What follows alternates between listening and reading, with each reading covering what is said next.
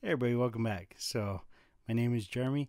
Today we're going to be working on the new Basse box. This is going to be one of the frontiersmen out of that for Malifaux 3rd edition, so check it out.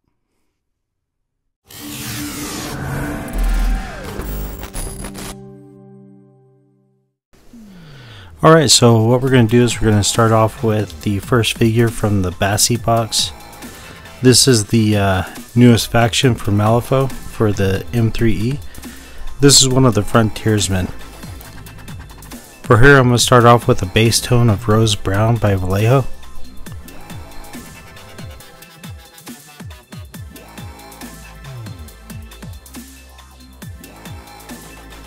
And oh no. Oops. Alright, now that she's actually secure on here, I am going to go over the whole thing with a Army Painter wash. This is the soft tone wash. And once that's dry, I'm going to go over with a uh, light flesh tone and mix it with the rose brown and kind of blend those highlights and start trying to make some smoother transitions on her skin.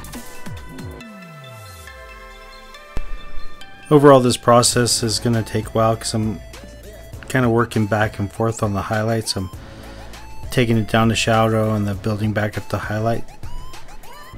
So what I'm going to do is while I'm doing the shadows, I'm going to make the eye sockets darker and start painting in the eyes and then go back through and do highlights on the the top parts of the skin.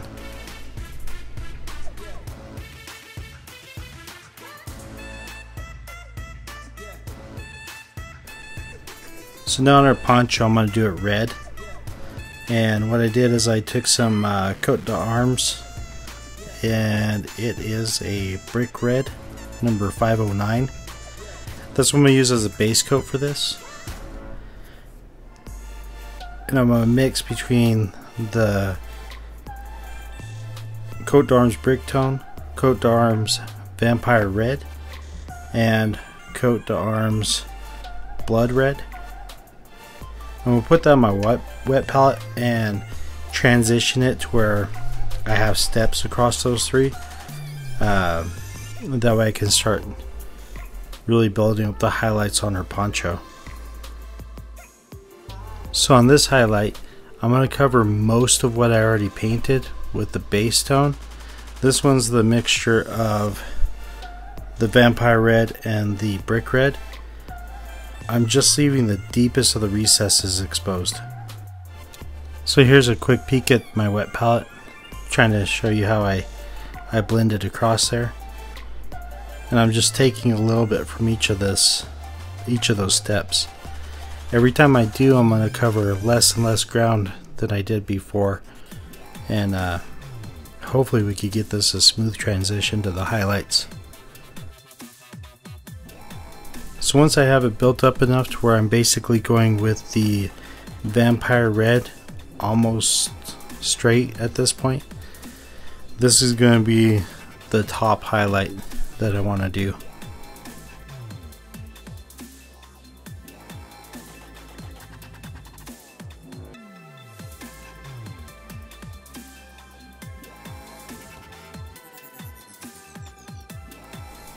So on her poncho on the base, I want to I want to try and do a little bit of a design on it. So I'm going to go through and darken down the brick red and start painting a transition line, almost like a seam right here. That way I know to keep the pattern basically at that at that spot.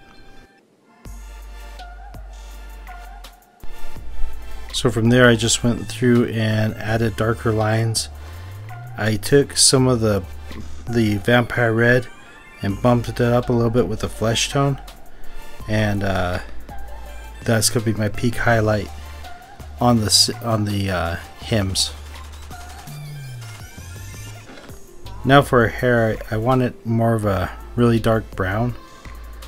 So uh, I took the the base black that there is and I am going to start painting into like a uh, Vallejo's Hull red and build it up to a, a lighter brown in some spots.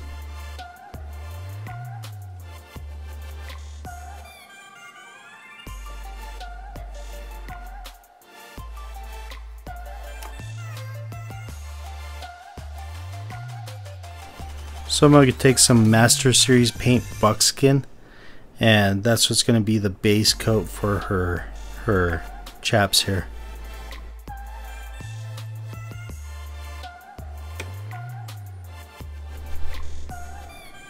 Now I'm going to take a mid-tone wash by uh, Army Painter and go over the whole thing. I'll take that buckskin and build some highlights up again after this uh, this wash dries.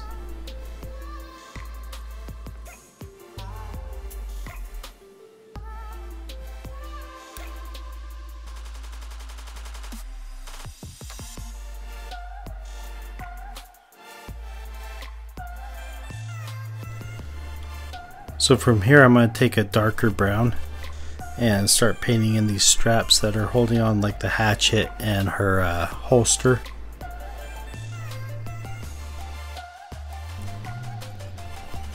I'm also going to take some uh, dark star pewter color and dry brush the gun.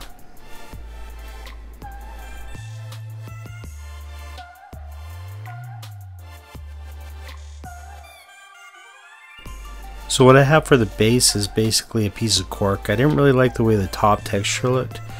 So I took a mixture of PVA glue, some Vallejo's Desert Yellow, and a little bit of tile grout and mix that all together. And basically I want to paint that on just to get more of a more of a sandy texture. So once the base is dried, and the tile grout and everything's completely dried what I'm going to do is I'm going to take some uh, some lichen and break it up into really small pieces and use that as the lichen I have is almost like a sage color. So I think that'll simulate some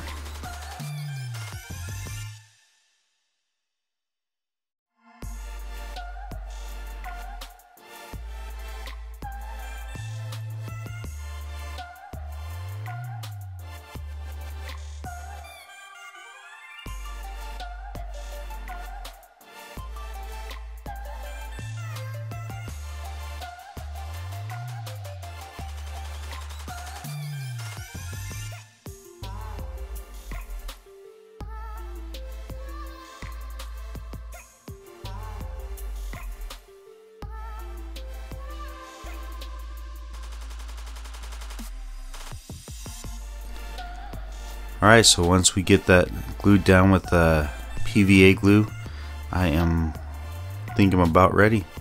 Uh, I'm pleased with the way it turns out. It, it does look like a desert to me, so as always, I appreciate you.